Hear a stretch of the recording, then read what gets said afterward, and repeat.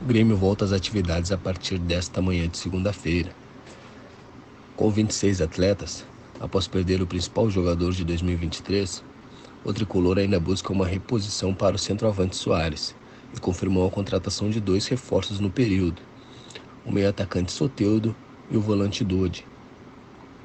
Carbajo e Ronald serão ausências na rotina de exames. O venezuelano chegou durante o fim de semana a Porto Alegre já realizou a primeira parte dos exames referentes à contratação.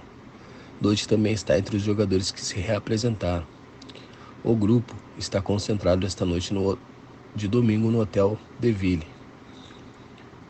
O volante Felipe Carbajo será ausência. O Uruguai foi liberado para se apresentar no dia 10 em razão da cirurgia realizada ainda em dezembro, para sanar as dores no pubis. Ronald também não estará com o grupo. O jovem se apresenta nesta segunda-feira para começar a preparação com a seleção pré-olímpica. O tricolor está longe de ter um elenco fechado para a temporada. Aliás, a principal lacuna no elenco segue aberta: o substituto de Soares. O Grêmio tinha negociação com Funes Mori, mas o jogador acabou fechando com o Pumas, do México.